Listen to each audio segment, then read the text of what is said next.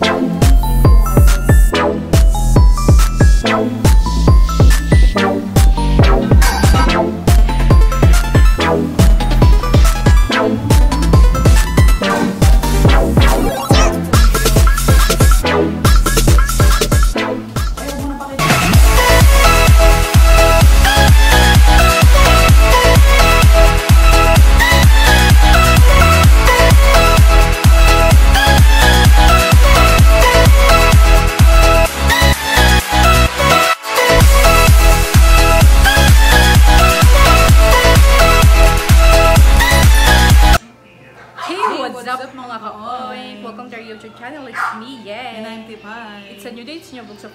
Video, tayo na naman ay magluluto. Luluto. Dahil ECQ ngayon, meron kaming ipapakita sa'yo na pwede natin gawin sa hotdog. Request, isa sa request ng kawing natin dyan na si Yes. Pia. Eh, Thank you ah, sa pag-ano mo. Pero ngayon, papakita namin Sisig na hotdog. Yes, pa-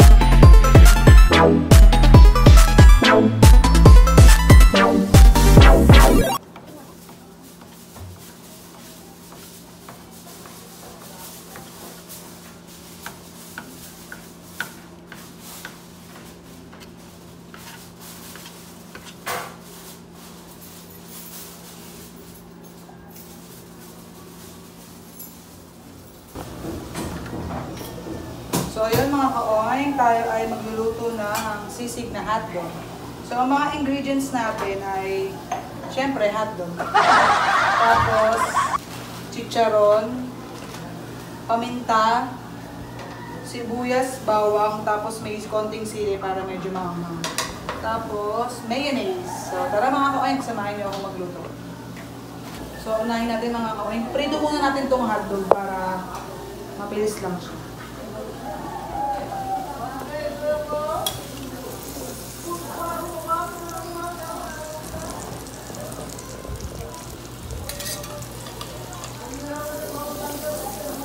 Dito na tayo magprito sa ginamit ko kanina. Dito lang ng konti.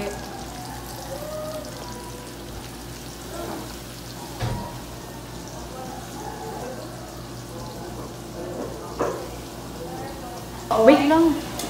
So, So, ayun nga mga ka-oin, tapos na natin magprito yung mga hotdog. So, dahil isip yung ngayon, nag-iisip tayo ng mga pwede natin gawin sa bahay kasi hindi tayo nakakalabas. For safety na rin natin mga ka-oin. So, yun nga mga ka-oin. Lagyan natin ng butter. Second step, after natin maprito yung hotdog, butter.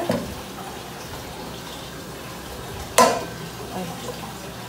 Butter. So, tunawin lang natin yung butter mga ka-oin, ha? Tunawin lang natin yun. Tunawin lang yan.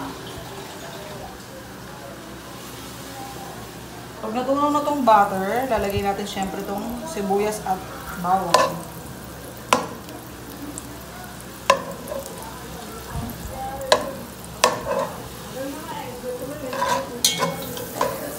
So yun mga ka-oink, ako ang magbibideo kay baby kung pa- para makita nyo kung paano niya lutuin yung hotdog sisig. Kasi nag-iisip tayo na gusto natin, gusto namin kumain ng sisig. Eh, dahil hindi tayo pwedeng lumabas, kung, kaya kung ano na lang yung makikita natin na stock natin sa ref or sa storage Saka natin. hindi pa natitikman to ng mga bata. Yes. Na, pwede na siyang pangulam, pwede pang pangpulutan. Pero, syempre, pangulam sa ngayon kasi bawal mag-inom dahil ECQ tayo. So, sunod na natin ang sibuyas.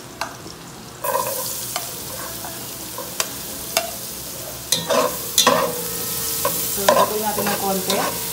Bago natin isunod ang bawang. Yan, mga ka-oin. Pwede natin isunod ang bawang.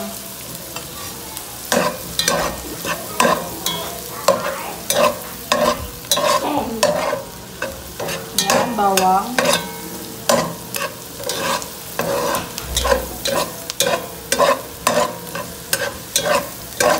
After that, mga ka-oin, pwede natin lagay itong ano ba to? Sili. Siling green lang mga koy kasi masyado maangang pag yung red. Konti lang muna para may ibabaw pa tayo ngayon. Kasi baka pag masyado maanghang, magalit yung mga bata. Baka hindi ba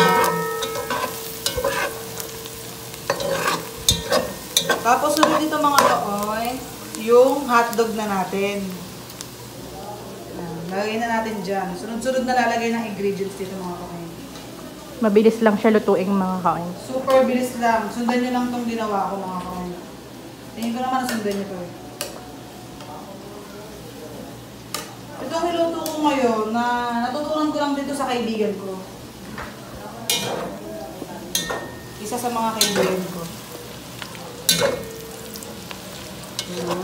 So, yun yung hotdog, sili, bawang at sibuyas. Tsaka mga kaoy, meron pala akong hindi na pakitang isa sa ingredients. Sa isa sa main ingredients, itong gatas. Evaporada. Gatas na iba. So, ang nalagay ko dito sa 1 kilo na hotdog ay tatlong lata ng maliliit na gatas. So, isunod na natin yung gatas mga kaoy. So, lahat yan nalagay natin mga kaoy. Wow! Parang So, sopas, napakayami. ha? Napakayami niya mga kaoy.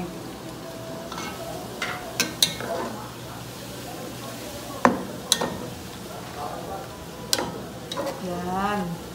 So, antayin natin siya mag konting ano, matuyo-tuyo yung gatas niya. Kasi sobrang sarap nito mga ka-oy. Alam niya ng mga friend natin ka-oink dyan. Sa mga nanonood nating friend na ka-oink, may ngingilan na alam nila to.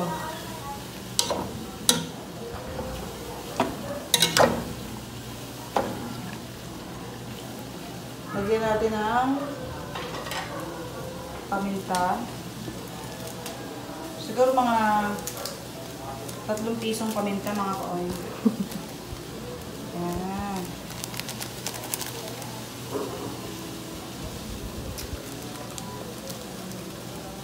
Kita nyo naman, di ba? Napakadali lang niya lutuin.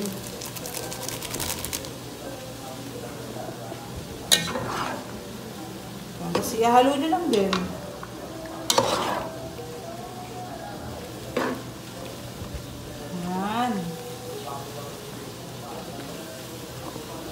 Napakasarap nito mga kaon. Favorite niya ito ng kapatid ko eh. Eh! Pero wala siya. Asa bahay siya kaya hindi niya matitikman. So susunod na lang. Magluluto tayo sa bahay namin para sa mga kapatid ko. So antayin na natin mga ka na medyo lumapot-lapot para ano, update ko kayo ulit mamaya.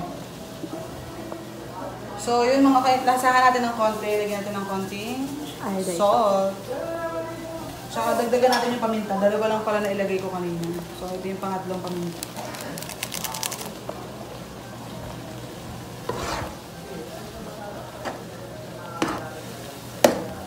So, yun mga kain, update ulit namin kayo kung patapos na itong niluluto natin para matikman na naman ang mga kain babies natin.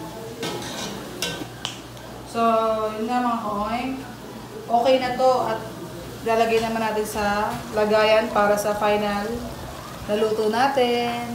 Kasi may mga lalagay pa tayo dyan mga kaoy. Hindi lang yan, ganyan. Yan, sige. Baka ano to, yung umpisa.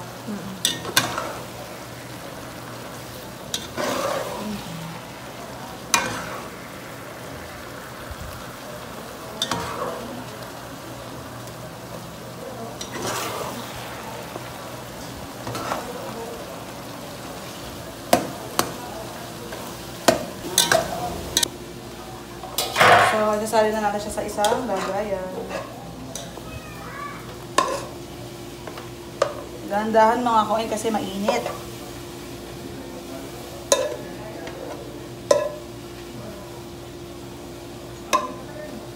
Pero pinanitili ko talaga na may konti siyang sauce para masarap siya pag kinain. Pwede rin kasi siyang pangulam. Sahog sa kanin. So yan, spread nyo lang siya mga ka-oink. Spread lang. Tapos, ang sunod na ay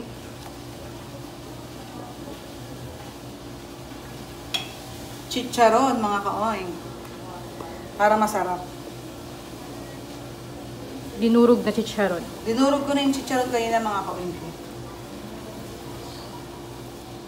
Sobrang low budget lang talaga siya. Kayang-kaya, affordable, tsaka kung wala kayong pambili ng meat sa groceries, kung ano lang yung pwede nating makuha dito sa loob ng bahay, yung stock, yan. So, yung chicharon, only 10 pesos per pack. Yung hotdog, meron naman sa ref. Pero pag wala sila sa ref, syempre, pero magagawa, bibili. Yan. Depende sa inyo kung gaano karaming chicharon mga ka-oink ka. Pero sa amin, yan. Okay na muna yan. Pwede naman mamaya pag kukuha. Lagyan ng chicharon sa ibabaw. Yan. Tapos sunod, ay, mayonnaise. Mayonnaise na, mga ka-oink. Sunod natin ay mayonnaise. Kahit anong brand, pwede pwede mga ka-oink. Tapos, kayong bahala kung didesignan nyo. Yan. Ay, sarap din mga ka-oink. Sigurado magugustuhan ng mga bata yan kasi simpleng simple pero 'di ba? Minsan yung mga bata nagsasawa na sa prito, prito, puro na lang prito or steam. Ngayon may lasa, 'di ba? Tapos para sa design lang niya mga ka-oink. Nagyan lang natin siya ng mga ganyan. Kung ayaw naman nila na maanghang, tanggalin na lang nila. Diba?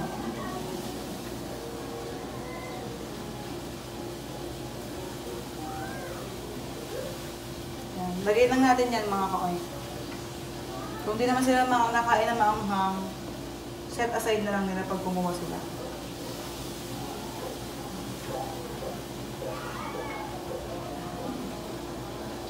Yun na, tapos na ang ating finished product na sisig na hotdog. Napaka-special nitong luto natin mga kaoy. So, yun nga mga kaoy.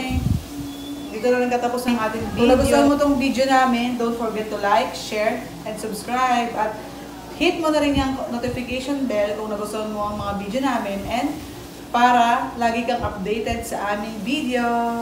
Bye mga kaoy!